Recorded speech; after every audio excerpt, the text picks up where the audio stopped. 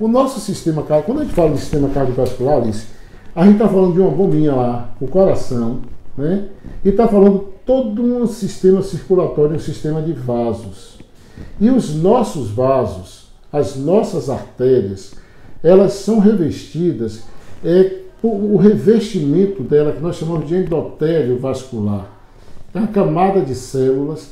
E o que acontece no diabetes, que as alterações provocadas pelo diabetes, de hiperglicemia, de aumento do estresse oxidativo, do aumento da inflamação, isso facilita a lesão desse endotélio e a formação de placas de ateromas.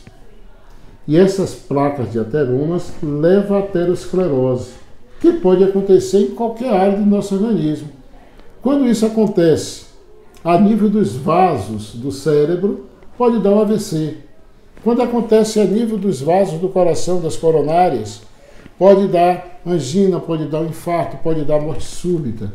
Quando acontece a nível de vasos dos membros inferiores, das artérias de membros inferiores, pode evoluir e levar, facilitar o pé diabético até uma amputação.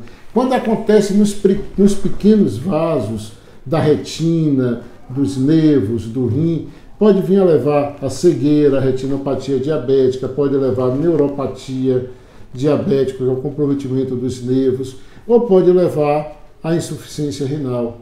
Né? E levar, hoje, veja que é, a principal causa de cegueira, a principal causa de cegueira em pacientes adultos é o diabetes mellitus descontrolado. É aquela pessoa que é diabético e não se cuidou e que pode evoluir no futuro para um quadro de cegueira.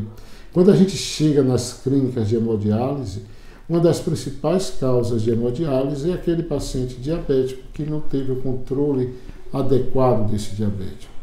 Quando você chega com um paciente é, com neuropatia periférica, com pé diabético, que tem uma amputação, a causa também foi a mesma, foi o comprometimento dos nervos e da circulação arterial pelo diabetes. Então, é muito importante o cuidado com a saúde cardiovascular.